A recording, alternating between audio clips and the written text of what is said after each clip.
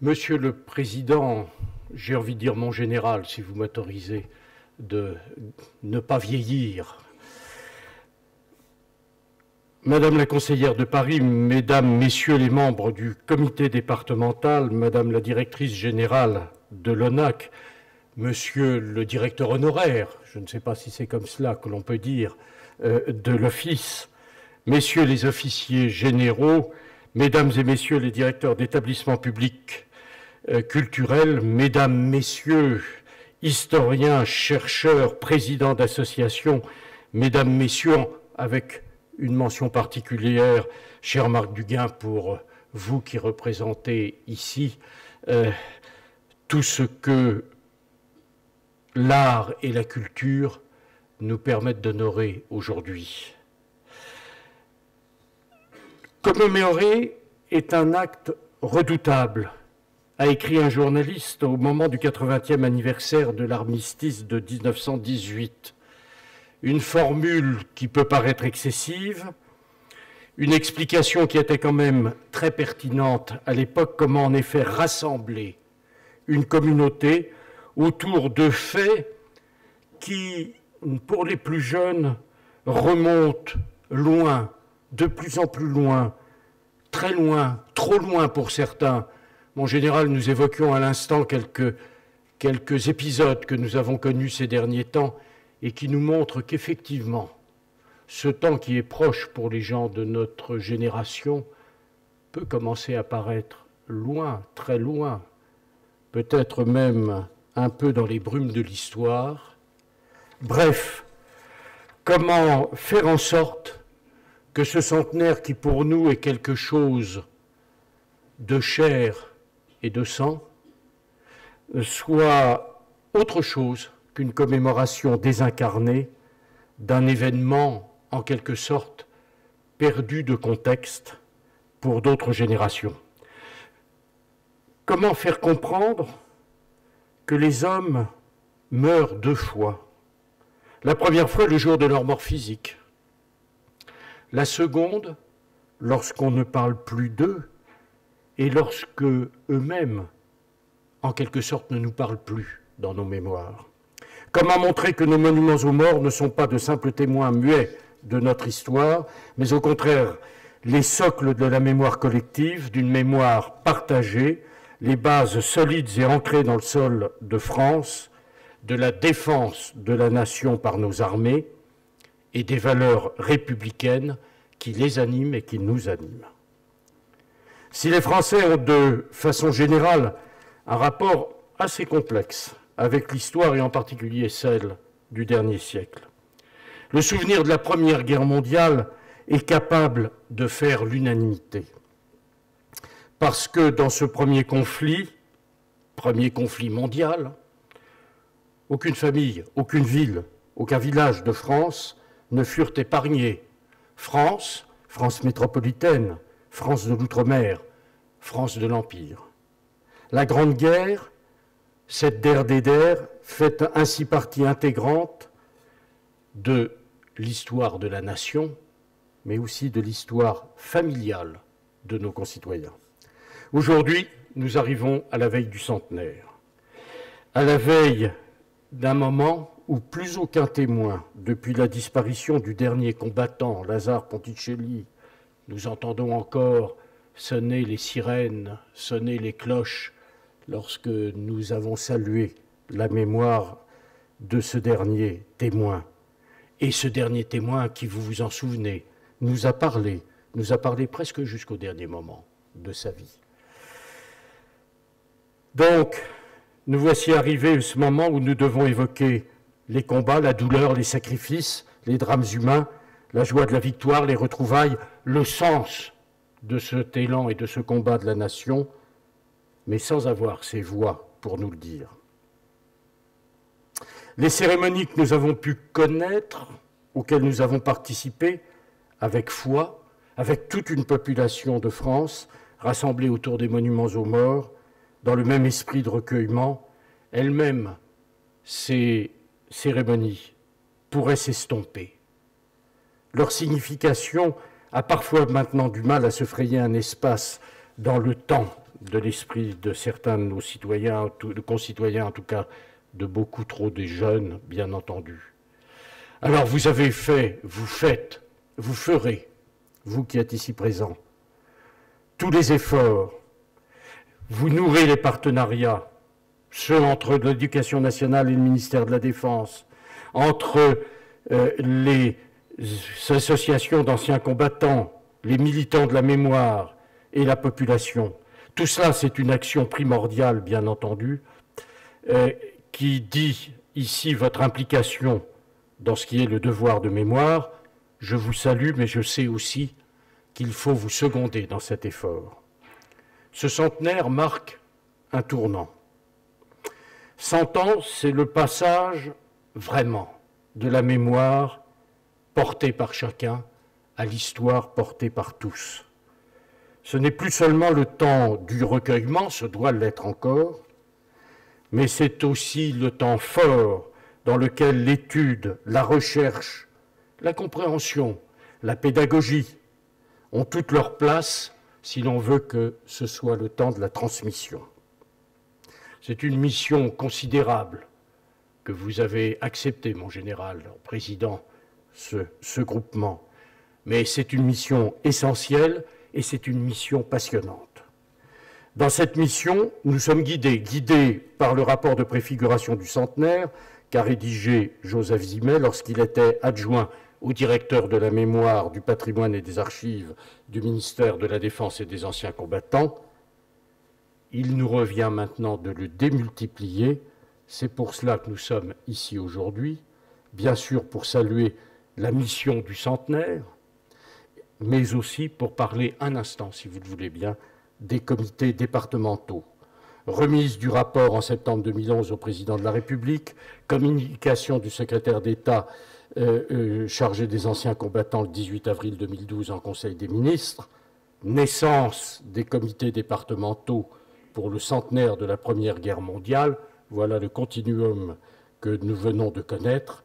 Il s'agissait de permettre un suivi, une coordination des initiatives locales, de proposer des actions au groupement d'intérêt public qui a été créé et dont vous assurez, mon général Irastorza, la présidence avec euh, le prestige qui entoure l'ancien chef d'état-major de l'armée de terre et avec la conviction qui est la vôtre en la matière. Vous assurez la liaison entre les comités départementaux, vous organisez l'ensemble du calendrier commémoratif à travers la labellisation d'un certain nombre de manifestations. Et le président de la République, M. François Hollande, dans son allocution du 7 novembre, a tenu à rappeler quel était le sens de cette commémoration, quel en était l'esprit. Si l'État se chargera plus particulièrement de l'ouverture et de la clôture du cycle commémoratif, il laisse dès 2014 et en particulier en, 2015 euh, et 2018 le soin aux collectivités de célébrer leur centenaire tout en assurant une veille et la cohérence nationale sur ces célébrations. J'observe d'ailleurs qu'à l'adhésion manifeste déjà nos concitoyens autour de ce concept, avec l'afflux qu'un certain nombre de services d'archives dans les départements viennent déjà de connaître pour répondre à l'appel qu'ils veuillent bien faire partager des souvenirs qui étaient personnels et familiaux, mais qui font partie, c'est cela le centenaire, maintenant, de l'ensemble de notre mémoire nationale. Un mot encore, si vous me permettez, le comité départemental de Paris. Le comité départemental de Paris, la préfecture de région, préfecture du département de Paris, s'est euh, efforcé euh, d'assurer très rapidement la mise en place d'un comité de pilotage, une première réunion juste avant le 14 juillet de l'année dernière, une euh, volonté de créer, proposer, fédérer des projets autour de la Grande Guerre à Paris, toutes thématiques confondues, et je vais y revenir dans un instant, des réunions aux échanges fructueux. Merci à toutes celles et tous ceux qui y participent, qui donnent une réflexion collective dans notre capitale sur le centenaire, et merci pour les ébauches de propositions que nous avons vues arriver. Il y avait sans doute besoin de mobiliser des énergies au-delà des intérêts particuliers. Elles le sont. Nous avons maintenant à porter ce mouvement qui nous met sans distinction des origines, des croyances, des parcours de vie, avec nos différences comme des complémentarités dans l'ensemble national, en train déjà de commémorer notre euh, devise républicaine.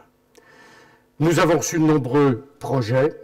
Vous savez qu'il y en a eu près de 1300, je crois, sur l'ensemble du territoire, et vous me disiez, mon général, que d'autres arrivent encore, car le mouvement n'est pas arrêté et qu'il peut continuer.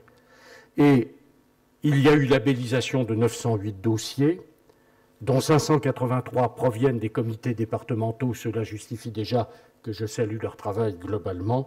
Ici, pour ce qui nous concerne à Paris, le cycle centenaire de la ville de Paris a été labellisé dans sa totalité.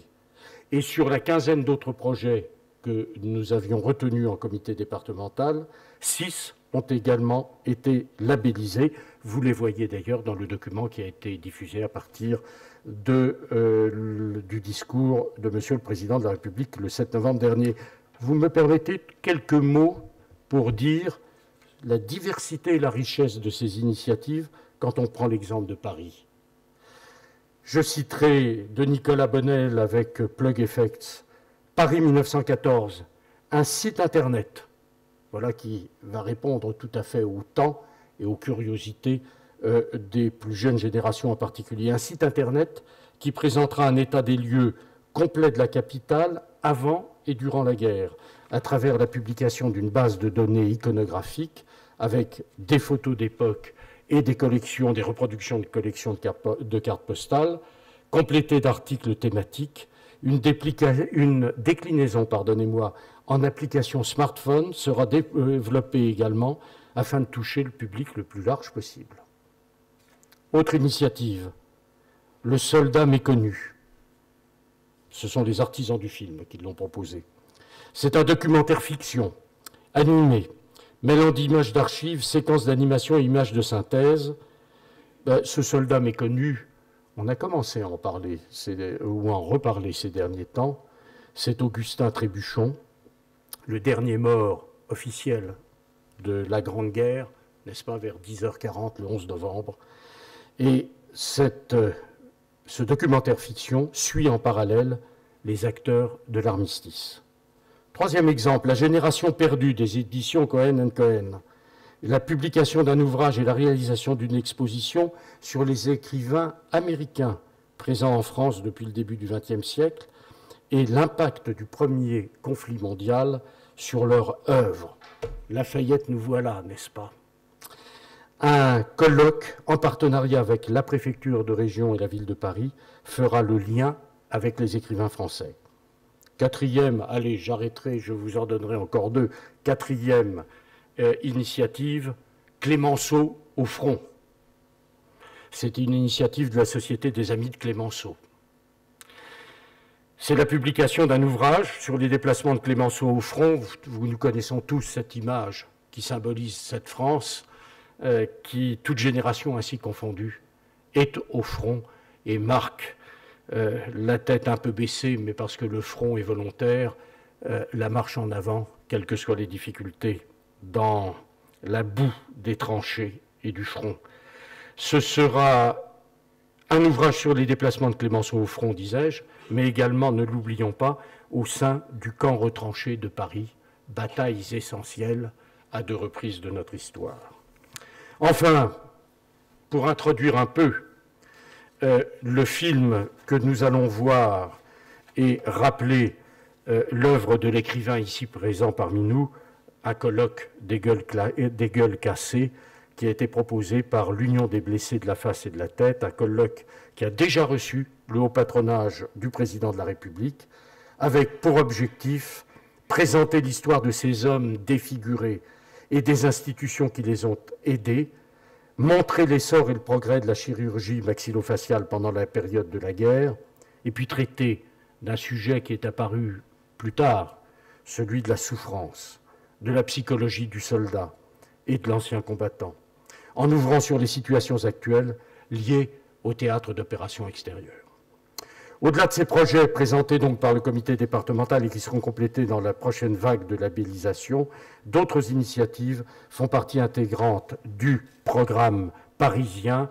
Il y a tout le cycle commémoratif proposé par la ville de Paris, extrêmement riche et diversifié, avec euh, dans quelques instants une illustration par le clip vidéo qui a été réalisé par la délégation à la mémoire de la mairie de Paris euh, pour l'occasion. Mais il y a aussi l'Opéra de Paris, qui s'engage à travers une série de concerts. Il y a la Comédie française qui a déjà consacré une soirée spéciale de lecture pour le centenaire le 10 novembre dernier. Il y a euh, les intentions de nombreux écrivains, les projets qui vont sortir tout au long des années à venir, romans, essais et autres publications inspirées par la Première Guerre mondiale. Je salue à nouveau parmi nous la présence de l'écrivain qui a déjà produit son œuvre et quelle œuvre, le magnifique roman de Marc Duguin, qui est ici au quatrième rang, que vous connaissez tous, La Chambre des officiers, et que l'on va voir dans sa version filmée dans quelques instants. Nous avons évidemment aussi les projets de colloque autour de la Grande Guerre comme moment interculturel, sur les défenseurs de la paix, 1899-1917, les approches actuelles et les nouveaux regards, bien sûr les derniers jours de l'Ancien Monde, mais je vais arrêter là. L'enjeu du centenaire, c'est au fond aussi de nous dire que la mission, la mission, elle est celle que vous avez prise, mais elle est la nôtre à tous, collectivement, et à chacun d'entre nous. La République, la Troisième République se confirma elle-même en célébrant en 1878 et avec faste le centenaire de la mort de Voltaire, le centenaire de la mort de Rousseau, en proclamant en 1880 le 14 juillet comme fête nationale. C'est le moment d'ailleurs où le mot de centenaire a quitté l'acception de célébrer nos aïeuls les plus remarquables pour devenir aussi l'expression saluant une telle commémoration. Un centenaire qui a une dimension internationale, puisque la France fut véritablement le champ de bataille du monde pendant ces terribles années, une tâche qui est loin d'être achevée et qu'au fond, vous nous aidez par votre participation ici ce soir à lancer de manière publique le centenaire. Nous en avons la responsabilité. Nous avons la responsabilité de la mémoire.